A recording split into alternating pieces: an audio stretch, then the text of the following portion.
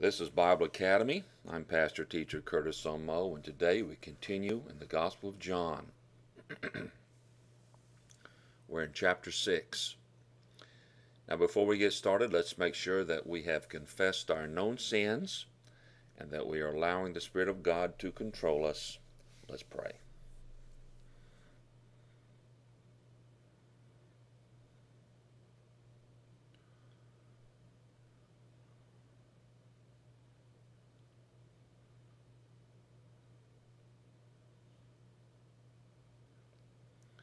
Well, Heavenly Father, we thank you again for this opportunity and privilege and everything you provided to study your word. We ask now that our hearts and minds be open and receptive to your truth. In Jesus' name, amen. One of the most notable things about the Gospel of John is that wherever John writes in this book, he's trying to teach something new about Jesus. Uh, he takes the words, the events, the surrounding circumstances, what people say to Jesus, how Jesus responds to them, and ties them in together to reveal more about who Jesus is. We see this from the very beginning in chapter 1. And one of the finest examples of that is this entire discourse, what we call the bread of life discourse that we've been studying the last couple of lessons. Now, just to read through this and try to expect to find some sort of typical narrative um, is going to be a challenge because the expressions, allusions, the references back to the Old Testament, to the future, these all tie in together to teach us something else about Jesus. Now, our Lord had this recorded for a reason. We are to learn about Him and how He works in the lives of His people. And what we want to do to benefit the most out of this is try to tie in these um, I don't know how else to say it except a, a complex series of sayings and words to teach certain points. It's hard to present this. Uh, if we lived back in that day and had the background that we needed, it might be easier, but I have an idea that even as John wrote this, he knew his audience would be uh, challenged to grasp the things he's trying to say about Jesus. So this is not a typical story, we might say. You can read it at that level, but there's a lot more going on. So keep that in mind as it seems kind of complex as we go through it and not as simple as you might expect as just reading uh, one of the other Gospels. Well, let's uh, remember that we have just seen Jesus feed the 5,000 on the other side of the Lake of Galilee. The crowd continued to pursue Jesus. Uh, they enjoyed the sign miracles, the benefit of them, but they didn't understand the true purpose or accept the true purpose of these sign miracles. And the purpose of these sign miracles was to constantly point to who Jesus was, that he was the Messiah. Now, recently in our story, he uh, Jesus has went from one side of the Gal- Sea of Galilee to the other and then back again. The people have followed him. Now they are back in their Galilean headquarters in Capernaum. Jesus spoke to them, revealing their wrong motives and what they should really be seeking. Let's pick that up in verse 26.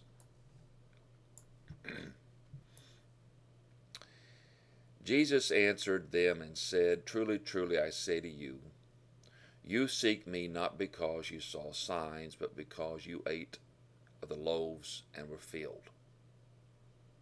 Do not work for the food which perishes, but for the food which endures to eternal life, which the Son of Man will give to you for on this one, refers to Jesus, the Father, God, has set his seal of approval. Therefore they said to him, What shall we do so that we may work the works of God? Jesus answered and said to them, This is the work of God, that you believe in him whom he has sent. Now let me just stop at this point. Here we already see terms being used at different levels food, works of God, and signs. And we've had to sort these out and what Jesus means and what he's trying to convey with them and what the audience is picking up on them, often getting the wrong signals. So, as I've tried to sort these out for you as we go through these passages, we can see how complex it can get. And don't be discouraged by that. That's to be expected. And that just means we have to dig deeper and hold on to the things that we understand and, and build on what we know. Verse 30 So they said to him, Then what sign miracle will you do so that we may see and believe you? What will you do? And see, even, even at this level, they don't quite understand what it takes to believe. Verse 31 Our fathers ate the manna in the wilderness, just as it is written, He gave them bread from heaven to eat. Then Jesus said to them, Truly, truly, I say to you, it is not Moses who gave you bread from heaven, but my Father who gives you the true bread from heaven. Let me pause again. The audience does not understand the things that Jesus is trying to teach them. The reason they don't understand is because their hearts are closed. They're not using faith. They're not believing Jesus. So we see Jesus go round after round with these people, trying to convince them what they need to do. Sound familiar? Verse 33 For the bread of God is that which comes down out of heaven and gives life to the world. Then they said to him, Lord, always give us this bread. So again, like the Samaritan woman, like Nicodemus, they don't get it. Now, there's some lessons here for us. If we're going to speak to people about spiritual things, and I suppose a lot of you out there have a lot to say to people that would really help them, not only do they not understand what you're saying, they don't want to understand. Some would just want to get into a debate. Some would just want to argue with you about what they think God is like, and you know they have really no idea. But Jesus had those same experiences with people. So he tries things they're familiar with. He goes back into their history. He uses uh, real experiences like eating to try to teach them and they're still not getting it. Jesus attempts to turn their sign seeking and their works oriented, mentality uh, towards faith in Him. The crowd speaks of the manna provided from heaven in the wilderness, indicating they want Jesus to provide something like that. And He's trying to give them the path to eternal life. And they're thinking in terms of a miracle, food to eat, benefits from the miracles, and not the greater miracle standing there before them. Jesus responds and emphasizes that it was the Father who gave them manna from heaven, and now it's the Father who gives them the bread of God, the bread of life, rather, which comes down from heaven and gives life to the world. but they're still thinking primarily of earthly bread in earthly terms. The crowd says, Keep giving us this bread that keeps giving. Again, not getting what Jesus is trying to say.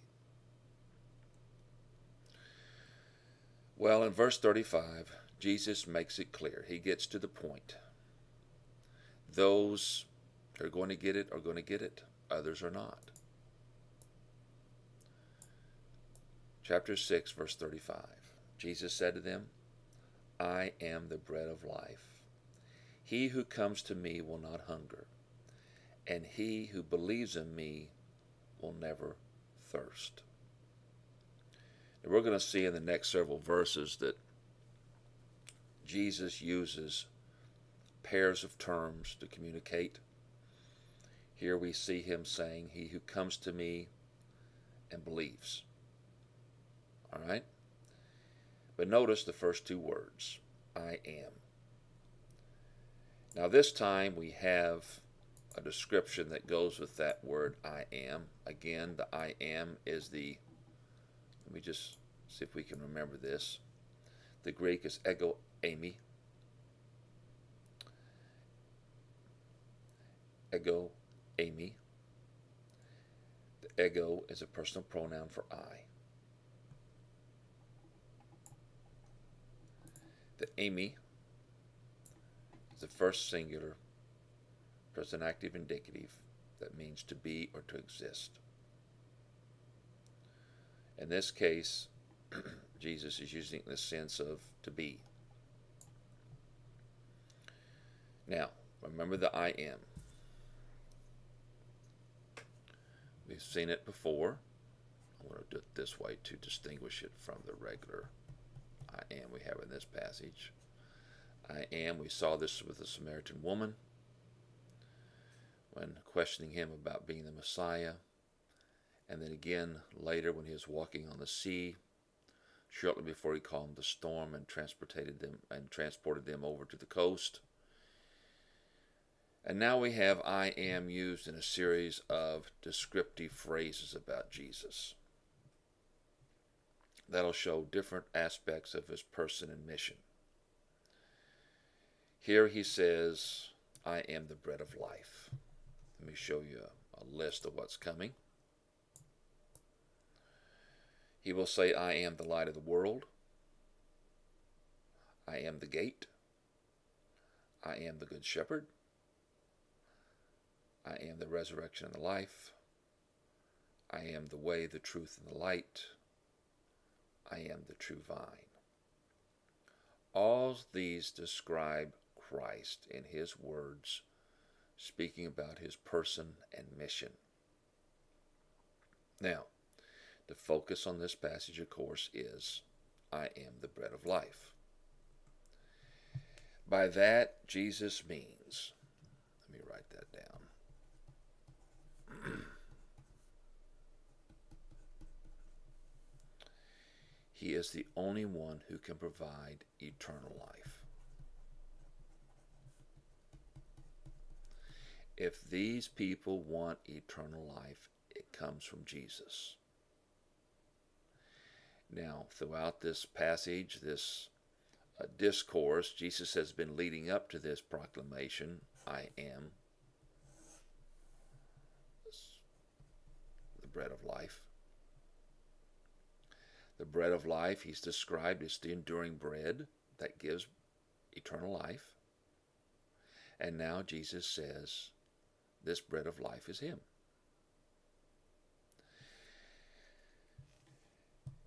In the rest of this verse, he describes what needs to be done.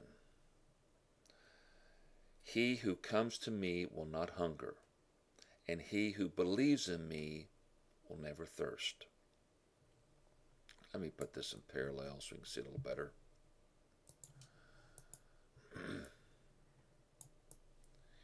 he who comes to me will not hunger, and he who believes in me will never thirst. This should remind us of the living water offered to the Samaritan woman. But there it was referring to the Spirit. Now, both these verbs here, comes and believes, present participles. Comes the middle participle, subject participates in the results of the action, and then believes the present active participle. So what we have here is Jesus saying, He who comes to me, further defined by believing in him. So coming to Jesus is further defined by believing. As one mentally turns to Christ, comes to Christ, he believes in him. And don't miss this, faith is always involved. If someone says they've came to Christ when there was a kid when they were a kid, they should be implying that they believed in Christ. Now here, the way this is stated, the coming and the believing, both volitional choices, they require a person to act. The hunger and thirst Jesus refers to is spiritual hunger, spiritual thirst. Now, the crowd recently has uh, been hungry, out of food, maybe even thirsty. I mean, after all, they've been, uh, we might say, out on the trail following Jesus. And Jesus takes these real life experiences and turns them to spiritual lessons. We all know what it's like to be hungry and thirsty and then satisfied. Now, Jesus uses this physical experience for a spiritual experience. And this spiritual experience has to do with a satisfaction with one's spiritual life. Many describe it as being empty or having a void in one's heart until he comes to Christ. There is a fulfillment, there is a filling there that occurs when one comes to Christ one of the first things that happens is, is that spirit becomes active with God in a relationship with God. He goes from being spiritually dead to spiritually alive. And what Jesus is saying is this fulfillment, this spiritual hunger, this spiritual thirst comes with Him. When you understand who Jesus is and what He has to offer, He's offering you spiritual satisfaction, spiritual fulfillment, a relationship with God. This reminds us of the Sermon on the Mount, actually done earlier. John doesn't include it in his book. Matthew 5 6 Blessed are those who hunger and thirst for righteousness, for they will be filled. Those who are truly seeking God will be spiritually satisfied.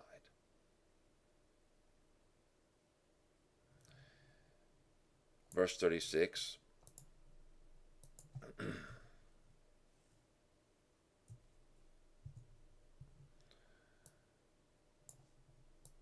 Jesus continues, But I said to you that you have seen me and still do not believe. Well, let's talk about this textual issue for a moment. This one's a little complicated. I'm going to spend a few moments on it. I do this occasionally to let you know that not only am I very well aware of them, but sometimes they are important to understand why certain things are the way they are in different translations. Notice the word me in brackets. Many of translations insert the word me. Well, what the textual critics do is that they weigh what they call the external evidence and the internal evidence. External evidence includes things like the manuscripts, families of manuscripts. What do they say? What do the better ones say? What do the older ones say? Uh, not always the older ones are the better, but what do the other ones say? Uh, what do the most consistent ones say? And they they categorize these things as uh, at different levels of of how you evaluate the text. The internal evidence has to do with, well, the language, the context, uh, what uh, perhaps John has already written in this area, or what how has he used these terms before, the syntax of them.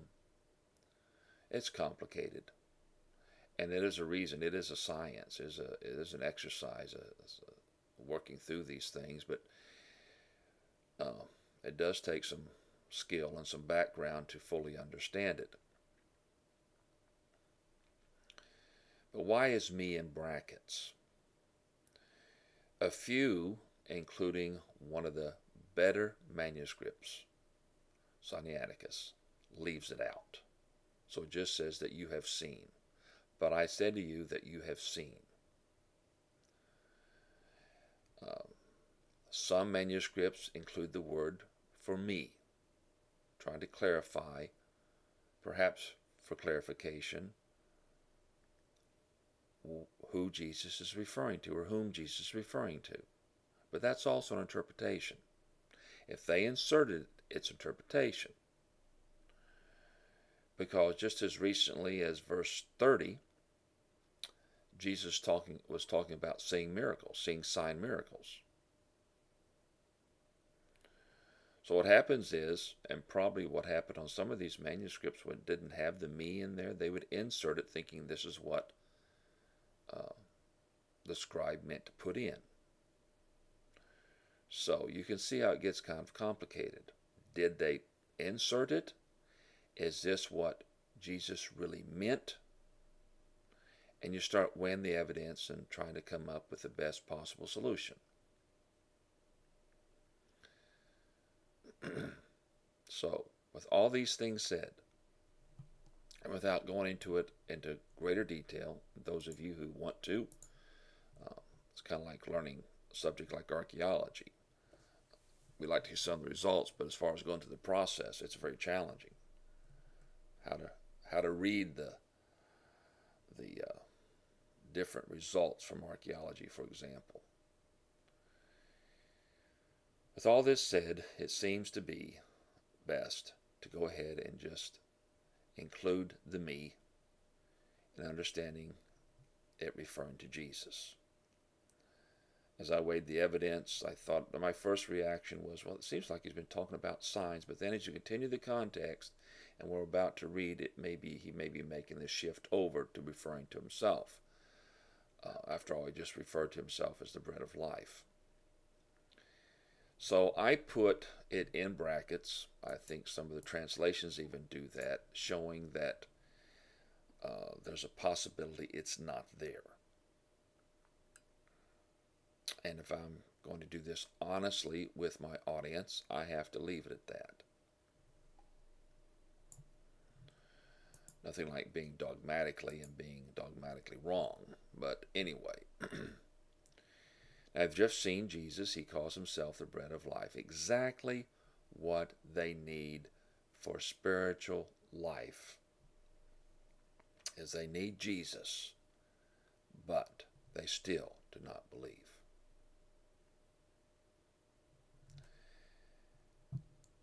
Look at verse 36 again. But I said to you that you have seen me and still do not believe. Let me ask you this what else can Jesus do? He's given them the truth, He's given them sign miracles, He's went through many, uh, we might say, different ways and to, to convince them. But they still don't believe. And we go back to the basic teaching we've had way back in the basic series there's a hardness of heart here. And even with the presence of Jesus and the words he says and the things he does, and just being there, their hearts show no softening. Verse 37, Jesus goes back to the Father's role in this. All whom the Father gives me will come to me, and the one who comes to me I will certainly not drive away. Now, here we get into one of those verses that's often taken out of context to try to demonstrate the predestination. Well, I'm not going to deny there's not some element of that here, but let's understand it more fully. So we're going through this a little bit at a time. The first phrase, all whom the Father gives me, gives present active indicative of didomi, common word in the Greek. It means to give, to grant. And then it says, will come to me, future active indicative of erchomai. It means movement from one point to another, just as we use it here, go or come.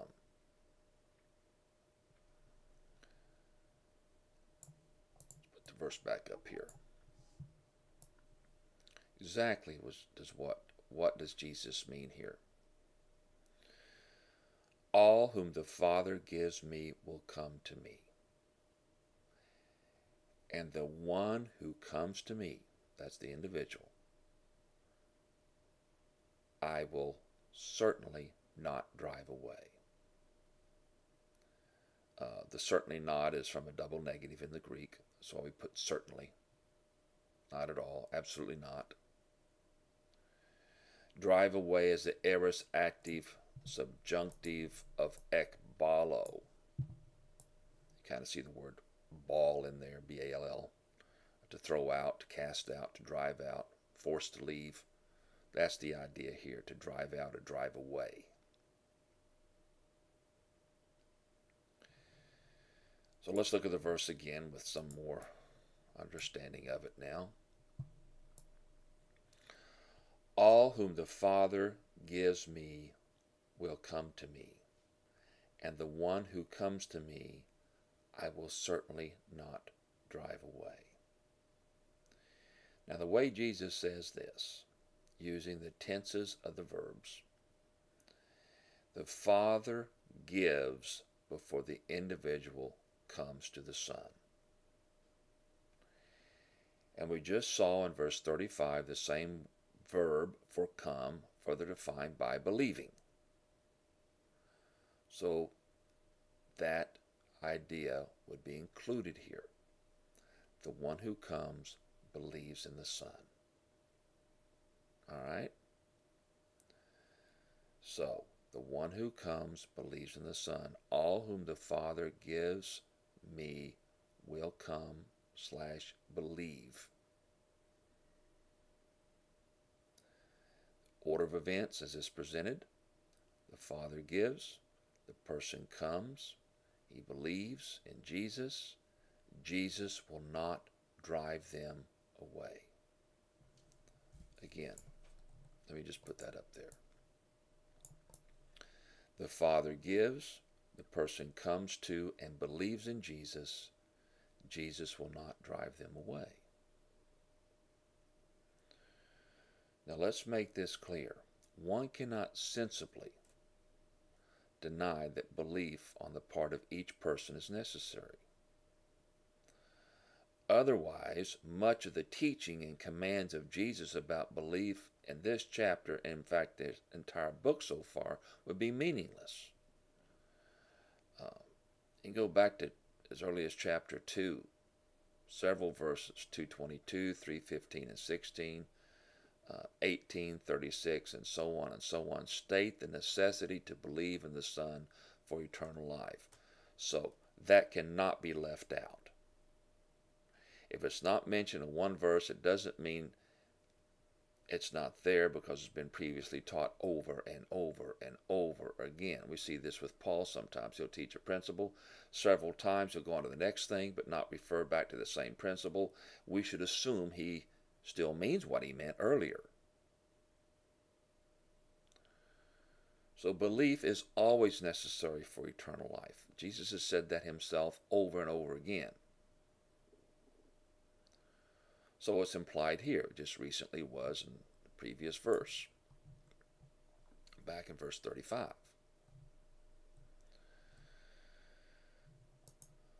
Let's look at uh, 629b again.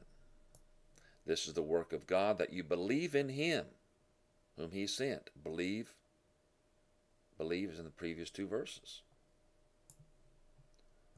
So we've seen it over and over again.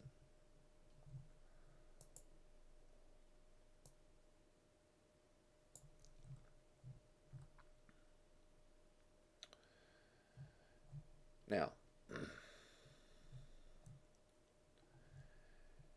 the Father gives, the person comes, he believes, and then the Son keeps him by not driving him away. Verse 38 For I have come down from heaven not to do my own will, but the will of the one who sent me. Jesus makes sure his listeners understand this isn't his plan. This is the Father's plan. He's following the Father's plan. And that includes, let me just write it down so we'll keep it in front of us.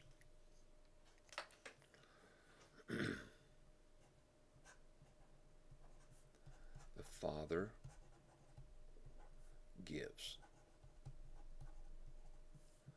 The person comes, just insert believes, and we'll say the Son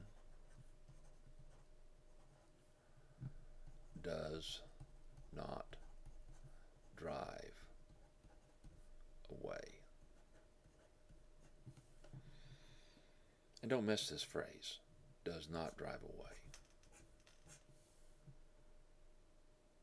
The one who believes Jesus is going to run him off. The one who comes, Jesus is not going to run him off. He's not going to cast him out. The reasoning is the Father gave him to him. And as a person comes to Jesus, Jesus is going to take care of him, so to speak. Now, if we put these two verses together, this one and the previous one, here's what we get. Let me scroll this down just a little bit because we're now, now including this previous verse.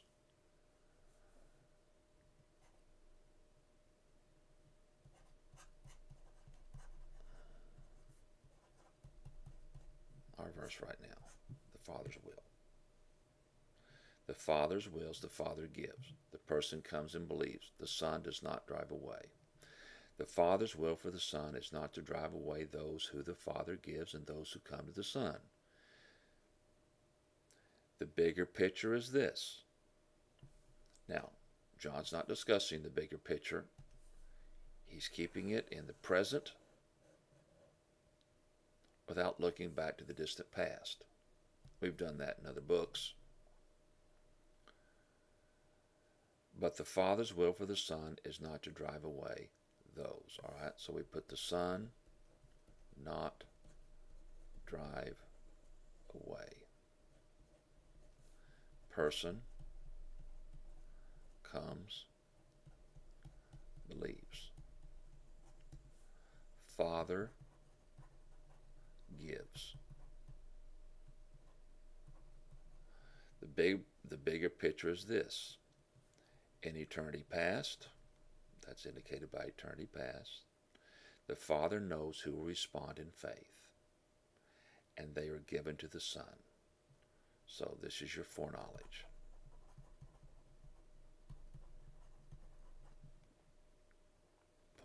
John doesn't mention it. Paul discusses it. And what we're doing, we're taking what we've known from other books, from other principles, and helps us fully understand what Jesus is saying. Now, they're just getting this part. That's what I meant when I said they're just getting the present, what they need to see right now. So, as the Father knows who's going to believe, He gives them. In time, the person comes and believes in the Son, and both in time and in eternity. As long as the person keeps coming and believing, Jesus keeps them.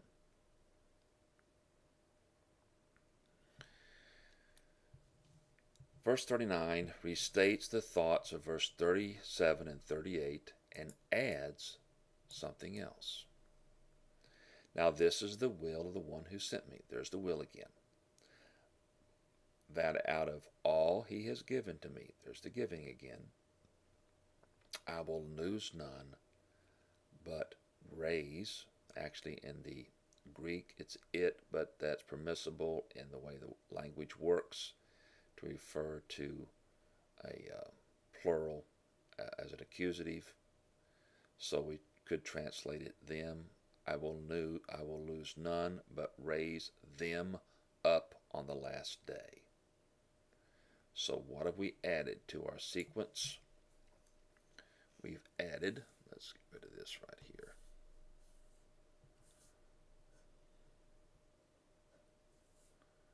We've added resurrection. The Son will raise. Oh, I didn't mean to do that.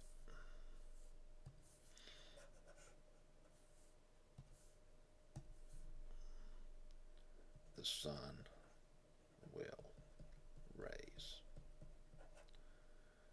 That's in the future. Now, this is the will of the one who sent me. That goes back to verse 38. That out of all he has given to me, that goes back to verse 37.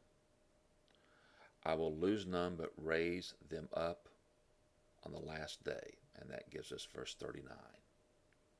So the last three verses here, including the one we're doing, combine these thoughts. The it, by the way, I was pointing out to you, what they call a collective singular. Going back to the all he has given me.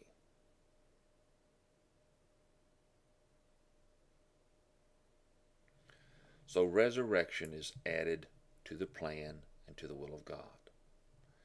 The Father gives, person comes, the Son does not drive them away, He doesn't lose anybody, but raises them up on the last day.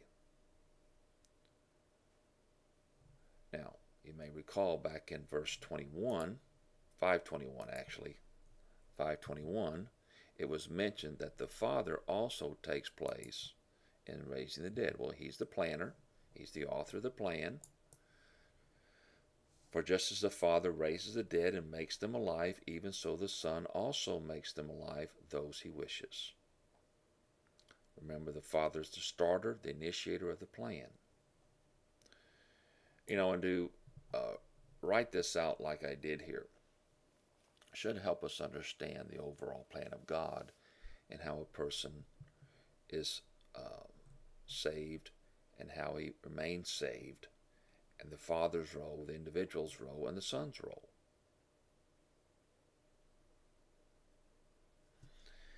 And it clarifies, at least it should, in our mind, that the Father is the planner. All right? I just write that up here. He is the planner.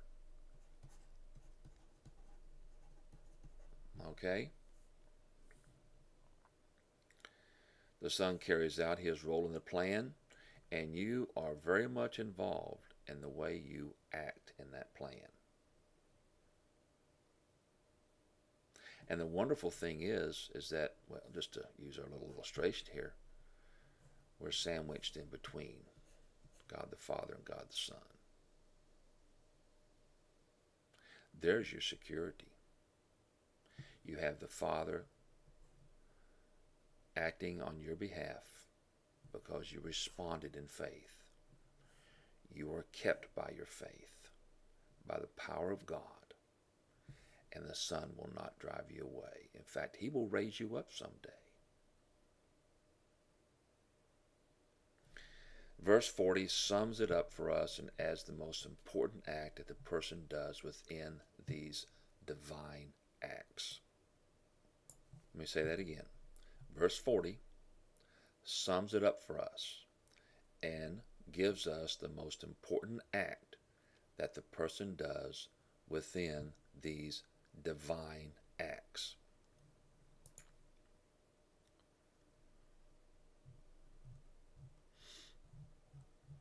Here we, again, we see some of the same thoughts we previously saw. For this is the will of the Father. There's the will again that everyone who beholds the Son and believes in him to have eternal life, and I will raise him up on the last day. Let's talk about the will of the Father for a moment. Uh, let's take some points on that. I'll put them down at the bottom.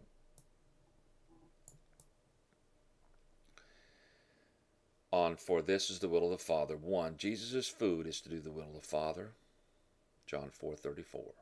Remember that? Two, Jesus said he came down from heaven to do not his will, but the one who sent him. And this is the will of the Father, of all Jesus is given, that Jesus not lose one, but raise him up, and everyone who beholds and believes, this is our verse, in the Son, have eternal life. So, when you believe in the Son, it's the Father's will that you have eternal life. It's the Father's will that Jesus not drive you away. It's the Father's will that He will raise you up someday. All in His plan. All set, by the way. And as you sit there and listen to this, if you believe in Jesus Christ, that will all be done for you.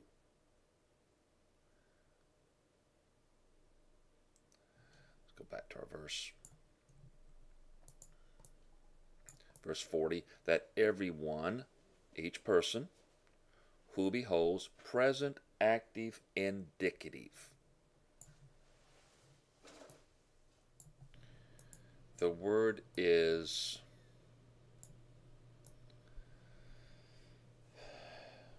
theoreo, to view, to, comp, to contemplate. Uh, let me get the rest of this up here. View with interest, to come to a knowledge of. Now, here again, we see two parallels, as we saw earlier with come and believe. Now we have the parallel of behold the Son and believe in Him. Uh, theoreo means to see and grasp. The idea is to see and grasp who Jesus is. So, beholding, as we saw earlier with uh, coming, is further defined uh, coupled with the word believe. So, again, we have the word believe here. Keeps on believing. Now, we have seen the word belief coupled with different words in John. And go back to 112. Receive and believe, see and believe, come and believe, and now behold and believe. Belief is always essential. And then our verse we have our two results. To have eternal life, and I will raise him up on the last day. Do you understand how many times now we've seen life connected with belief and resurrection? Again, resurrection, being raised up in the last day, is mentioned. The last day is a general reference to the resurrection that occurs at the second advent of Christ. Notice we see three persons involved. We see the Father, we see the Son, and we see the individual. It's the Father's will. The human is the one who beholds and believes and will have eternal life. And the Son is the one who will raise up on the last day. And we see this on a few occasions through this passage. The Father's active, the person believes, he beholds, he comes, he sees, he receives, and so on and the Son raises. Receives actually back in chapter 1. But in chapter 6, the individual sees, he comes, and beholds, and he believes. Let me chart this up a little different.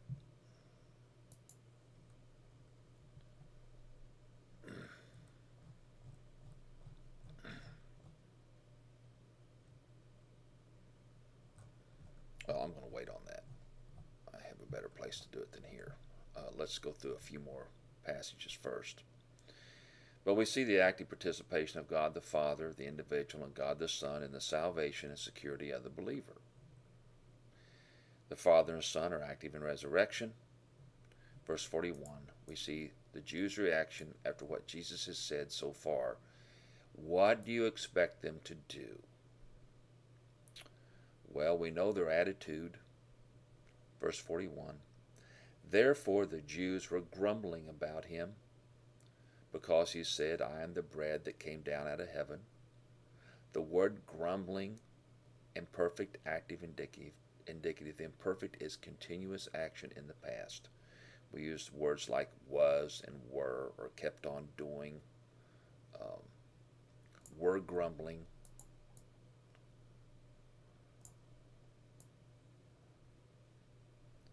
Gongudzo, to murmur disapproval. The Jewish authorities did not like what Jesus was saying about him being the bread that came down out of heaven. That didn't sit right with them at all. Uh, you could just hear them in today's terminology of all the nerve. Who do he who does he think he is? Verse 42. Here's the type of things they were thinking and saying. They were saying, Is not this Jesus, the son of Joseph, whose father and mother we know? How does he now say, I have come down out of heaven? The reasoning is that Jesus is nobody special. They knew his parents, both earthly. How could he come down from heaven? And of course, they did not know that Joseph was not the physical father of Jesus. They were right on their mother, though. But still, they're baffled. They don't know why Jesus would say such a thing. First thing Jesus wants to do is stop them from grumbling. Verse 43. Jesus answered and said to them, Do not grumble among yourselves. If you're going to sit there and you're just going to disapprove, you're going to gripe about me, about what I say, we're not going to get anywhere here. So he commands them. That's the imperative. Stop grumbling. This reminds us of the Israelites in the wilderness and their grumbling. They couldn't get anywhere with God or in their faith. It kind of put a, a stop to their faith when they grumble. Shows a lack of faith. Verse 44, Jesus continues. No one, no one can come to me unless the Father who sent me draws him, and I will raise him up on the last day. Here we again has. We have the Father in action, the Son in action, and the individual in between. The word can the word, frequent word in the Greek New Testament, dunamai. It basically means, dunamis means power. Dunamai, the verb, means to be able or can be capable of something. No one is capable to come to me unless the Father who sent me draws him. Let's talk about the word draw. Uh, let me just put all this definition up here. Helco is the word to move an object from one area to another in a pulling motion. That's the basic meaning of it. Uh, Paul was dragged out of the temple, Acts 21:30, by physical force. Other occasions, not only just Paul, uh, Acts 16:19, James 2:6. It means to draw a sword, John 18:10. Haul in a fishing net, John 21:6 and its metaphorical use here, it's an inner drawing to lead by inner force. Now, in the present description here, again, not going back to foreknowledge or the calling of God for that matter, in the order of events, the Father must first draw the person. Again, John doesn't go into the foreknowledge of God or the calling like Paul did, but stays with the more present. John wants them to understand that the Father is involved. They have to be drawn. Then they come. Now, let's put ourselves in the sandals of those listening to Jesus. They're being told that the reason they're not coming to Jesus is because the Father hasn't drawn them. Well, you think we uh, suddenly have a group of predestinarians there? Do you think they'd be thinking that since I'm not being drawn, I'm not going to come? But look at the rest of this uh, idea here on, in verse 44. I think that if they really wanted to know Jesus, to come to Him, to believe in Him, they'd be looking at this end part here about being raised in the last day. How am I going to be raised in the last day? So they would want their Father to draw them. And so we go back to the individual thinking that I've got to choose to come to Christ.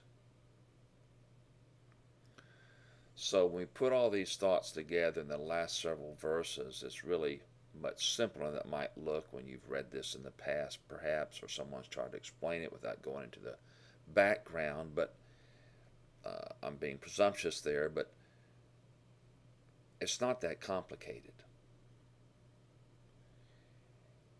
If you want to be raised up in the last day, you need to come to Christ. John doesn't take choice out here. He just includes the Father's role.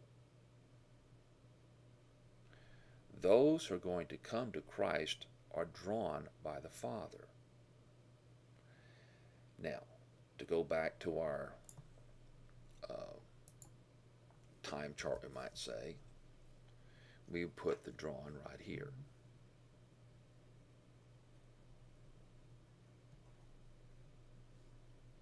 That's all.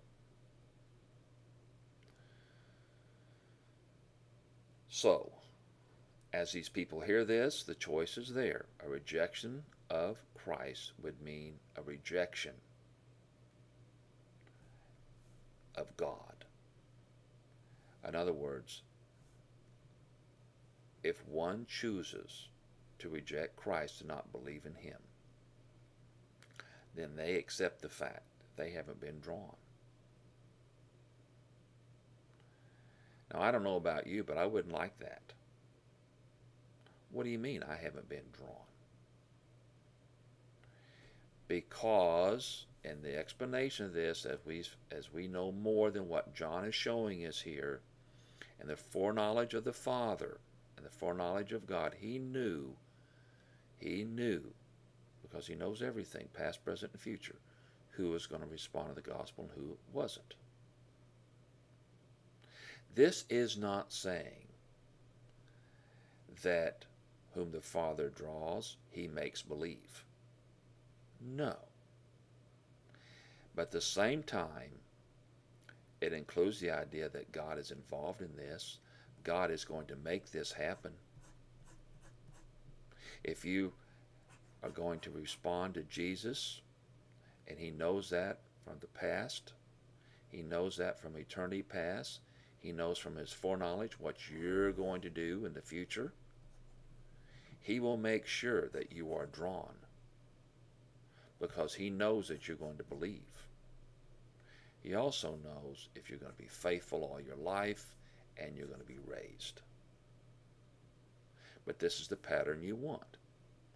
You want to be drawn, you want to come believe, and so Jesus will not drive you away and you'll be raised. It's that simple. Now, to these Jewish authorities who hear this, would they be thinking, well, I don't feel like I'm being drawn, so I'm not going to believe? Are they going to blame God for their unbelief? One of the first things they have to do, remember we just saw this, if they're going to get any of this, they need to stop their grumbling. First thing they need to do is stop grumbling. Stop griping about Jesus. You don't like what he says, you don't like where he's from, you know something about his background. And it's a lesson for all of us. Maybe you know someone now who's in the ministry that you knew as a young person. And now it's 30 years later in the ministry, and you have a real problem with them because you knew them when they were younger. Well, they knew you when you were younger, too. Remember that. So the first thing they have to do is stop their grumbling, and then the order of events the Father draws. We could include today the conviction of the Spirit, and then the individual comes, believes in the Son, and they'll be raised in the last day.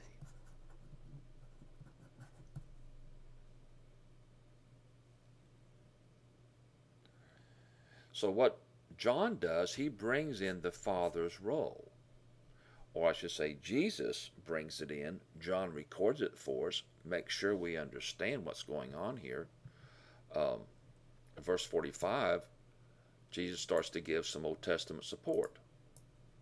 Just what these old Jewish authorities needed. It is written in the prophets, they will all be taught by God. Everyone who has heard the Father and learned from him comes to me. Now, this adds a fascinating aspect to this.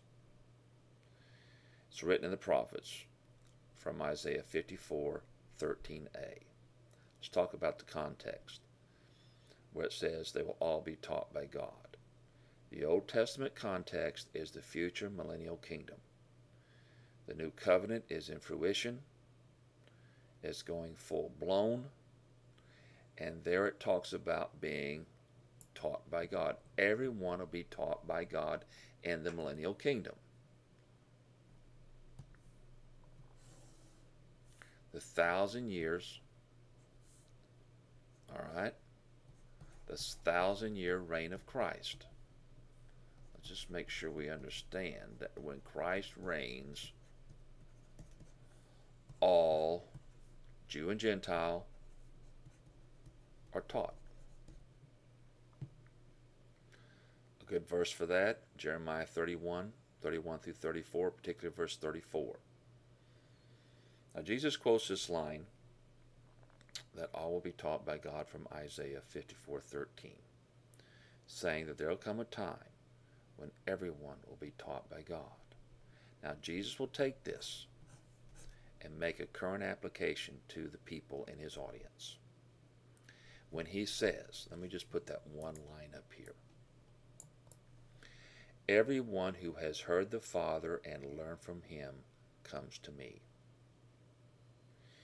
Here we see another act of the Father, and then the person comes to the Son. All right? So if we go back, we can add here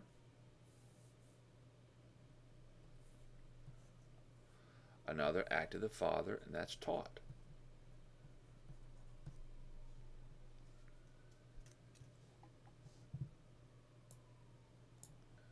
But let's look at more detail in this particular verse.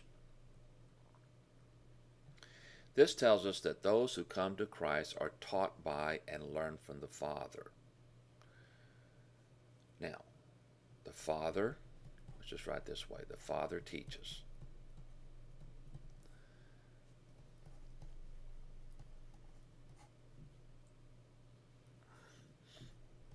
they come to Christ. That's the idea here. They come to Christ. Those who come to Christ are taught by and learn from the Father. They learn from His spoken word and His written word. They hear and learn. Obedience is implied. You have to hear the gospel. You have to learn the gospel. You have to obey the gospel, which is believing. You obey by believing. So those who respond by hearing, uh, by obedience, and learning come to the Son. That's what this is saying. Now, other scriptures tell us that God reveals himself in creation, in the inner man, the uh, natural uh, moral instinct, you might say, that every person has and man has a choice to respond to God, and as he does, the Father brings along the gospel, the person hears and learns, then the person comes to Christ by faith.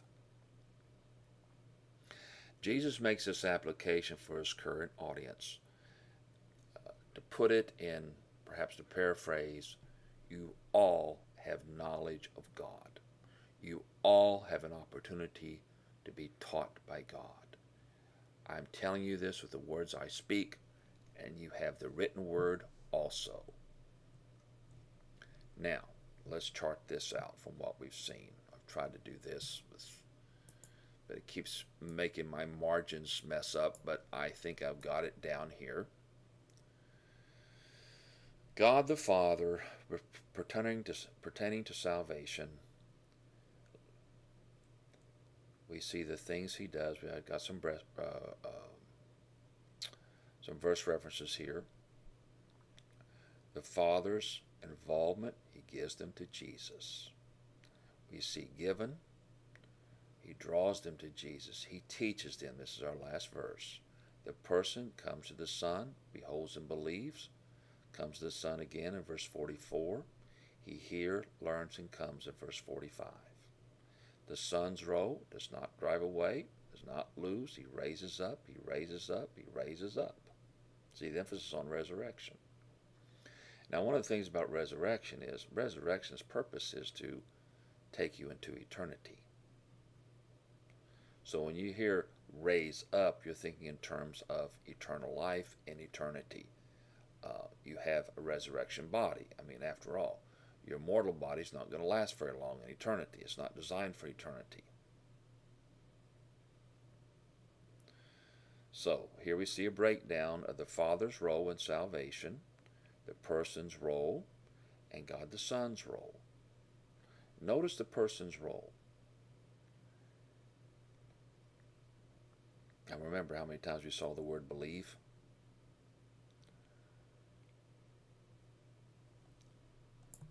Verse 36 Jesus reveals the only way to God the Father is through him.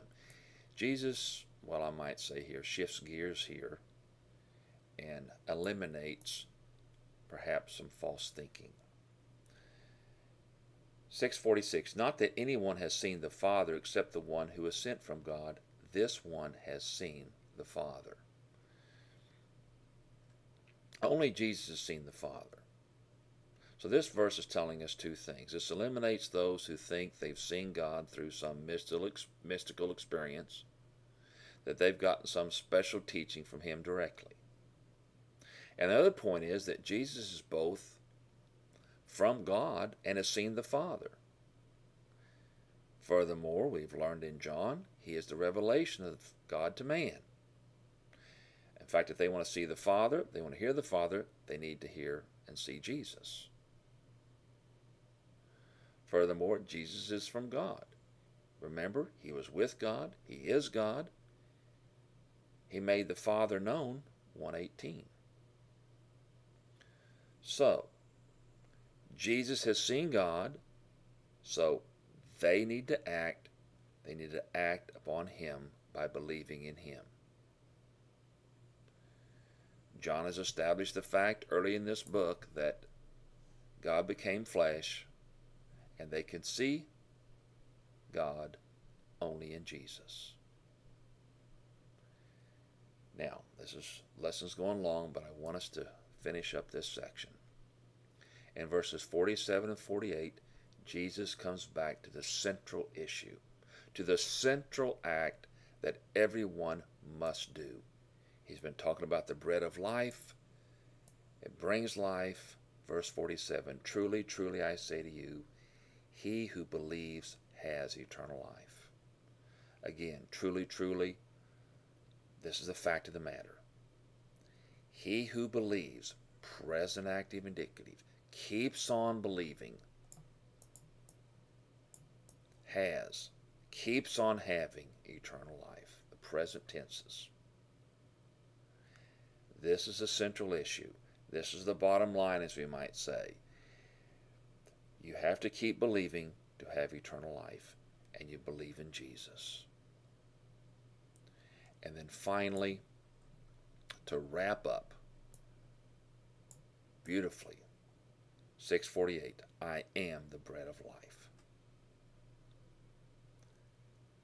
They must understand with all this talk about food, which endures to eternal life, that the Son of Man will give, the bread, the manna from heaven, the Father giving the true bread, With this long discourse on the bread of life, it comes down to understanding that Jesus is the bread of life and that by believing in him, one has eternal life.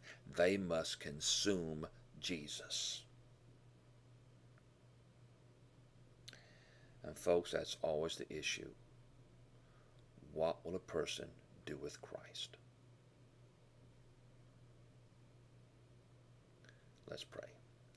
Oh, Father, we thank you for this lesson. It's been a, a marvelous but complex in many ways that we've learned about how Jesus presented himself to so many people.